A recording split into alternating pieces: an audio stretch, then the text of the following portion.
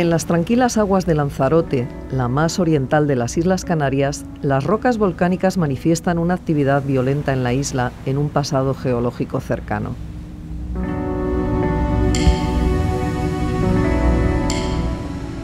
Hace miles de años, el volcán de la Corona desató toda su actividad volcánica, produciendo coladas de lava que se extendieron hacia el este de la isla.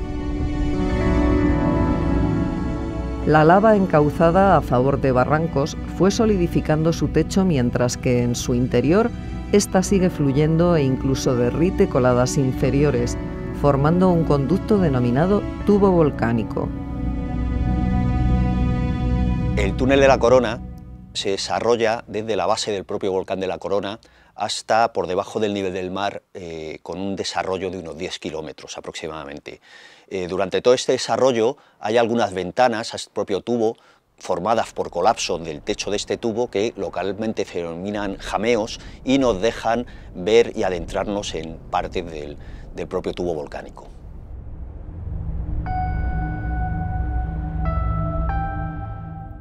Parte de los tramos del tubo visitables son la conocida Cueva de los Verdes o el conjunto de los jameos del agua. Estos centros turísticos y culturales son conocidos por ser unas de las más famosas actuaciones de César Manrique y Jesús Soto en la isla. El final del túnel de la Corona es el denominado túnel de la Atlántida, es todo una parte del túnel inundada y tiene más de 2 kilómetros de desarrollo y llega hasta 64 metros de profundidad por debajo del nivel del mar. El túnel de la Atlántida se formó junto con la corona hace unos 20.000 años, cuando el nivel del mar estaba unos 120 metros por debajo del actual. Había una glaciación y los polos estaban, albergaban este agua. Una vez que se empezó a deshelar estos polos y subió el nivel del mar rápidamente, se fue inundando todas las galerías de la parte final del túnel de la corona y se formó esta zona sumergida. El valor científico del túnel de la Atlántida no radica solo en su especial ecosistema. El estudio de sus elementos geológicos, geomorfológicos y sedimentarios nos va a permitir conocer la evolución de este desde su formación, cuando se generó en tierra, hasta su estado actual, totalmente inundado por agua marina. Este ha sido el objetivo de las investigaciones llevadas a cabo por Proyecto Sublántida, desarrollado por la UNED en colaboración con otras instituciones.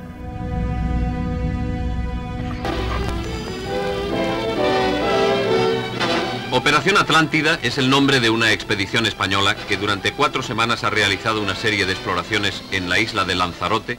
El interés por explorar el túnel de la Atlántida comienza en 1972, cuando los hermanos Guerra alcanzan los 370 metros de desarrollo en la galería principal.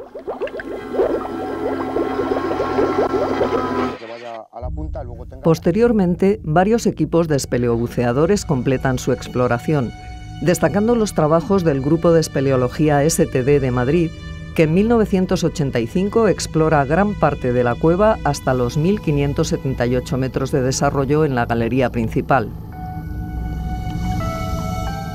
Un equipo internacional llegaría el año siguiente al final de la cavidad, a solo 40 metros de este punto, convirtiéndolo en el mayor tubo lábico sumergido del mundo.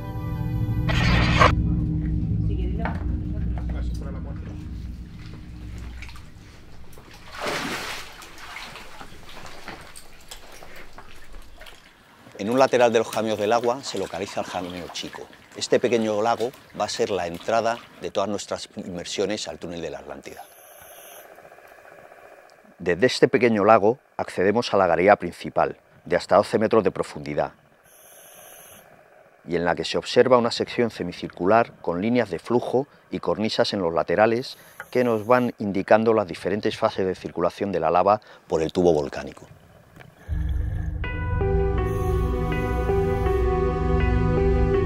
A través del paso denominado La Cima, descendemos rápidamente a 22 metros, desde donde la galería principal continúa. Según avanzamos por la misma, los bloques de lava esparcidos en el suelo, producidos por la retracción de las lavas al enfriarse, se hacen más abundantes y tapan parcialmente la galería formando restricciones. Desde aquí se accede por conexiones denominadas ventanas a una galería superior de 390 metros de recorrido que circula casi paralela a la inferior a una profundidad entre 6 y 12 metros.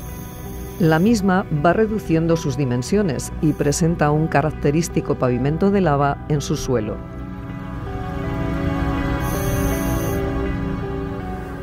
En estas inmersiones podemos visualizar la riqueza biológica de este ecosistema y comprendemos que sea una referencia mundial. El ecosistema anquialino de los jameos del agua y el túnel de la Atlántida es singular porque, por varias cosas. Primero, porque es casi el único que conocemos en esta parte del Atlántico. Luego, porque además es uno de los pocos que está albergado en un sistema lábico, normalmente están en zonas de carbonato cálcico. Y tercero, por la cantidad de especies que tiene. Eh, dos importantes para destacar, porque también son dos especies protegidas por, el gobierno de España, es el Munidosis polimorfa, que es el más famoso, es el jameito, ¿no? el que se puede encontrar en los llaveros y en las pegatinas que lleva, la gente en los coches. Y ese es importante porque es una especie que todas las de su grupo viven en el océano profundo y esta es la única que vive en cuevas. Y el segundo, el remípedo, que los de los jameos del agua se llaman morloquia, son los bichos que son, están más emparentados con los insectos.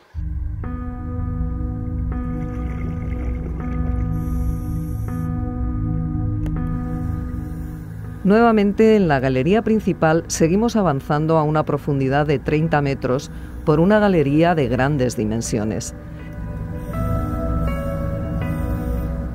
En el techo podemos observar estalactitas de lava recubiertas de carbonato cálcico, el mismo que delimita bloques poligonales en el techo causados por el enfriamiento de la lava.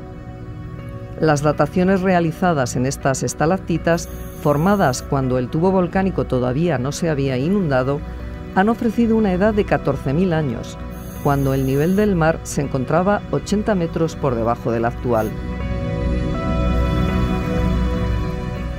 A unos 550 metros de la entrada encontramos una nueva ventana que nos acerca a dos tramos de galerías superiores donde localizamos unos depósitos de arenas marinas que se han ido filtrando a través de pequeñas grietas es la denominada montaña fósil.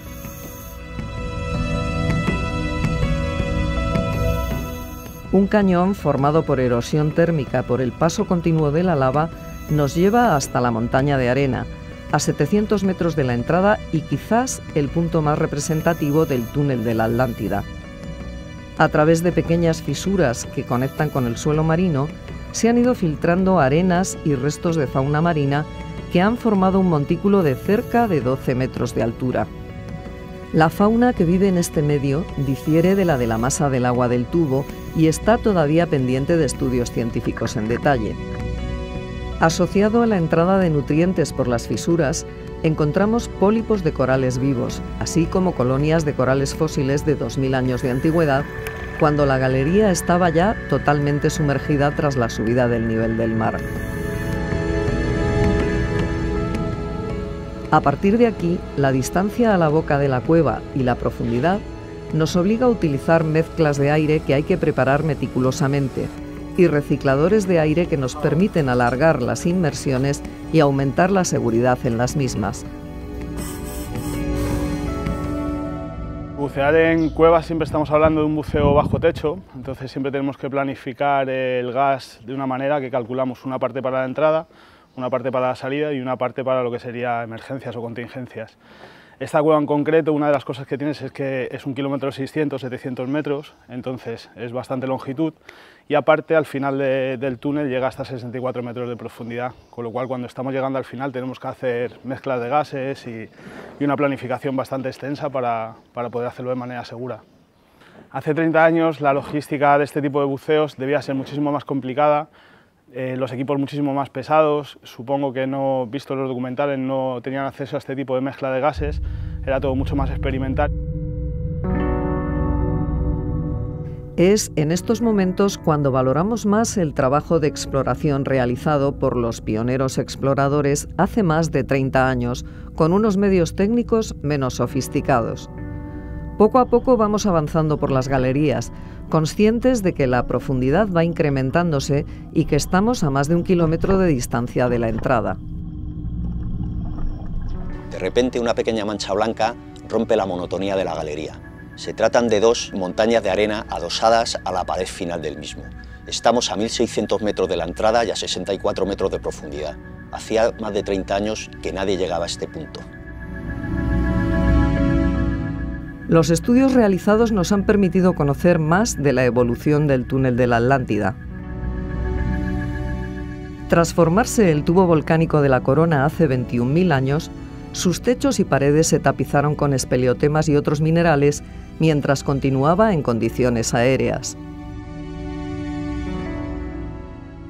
Hace aproximadamente 12.000 años, el nivel del mar alcanzó el final del túnel, filtrándose a través de las fisuras arenas y fragmentos de conchas del fondo del mar. El nivel del mar se mantuvo unos años estable en esta posición debido a un enfriamiento global denominado Younger Dryas. La subida del nivel del mar continuó constante hasta hace unos 8.200 años, donde una pequeña parada pudo provocar las grietas de desecación en las arenas y limos de montaña fósil. Posteriormente, el nivel del mar siguió ascendiendo hasta alcanzar su nivel actual hace unos 6.500 años.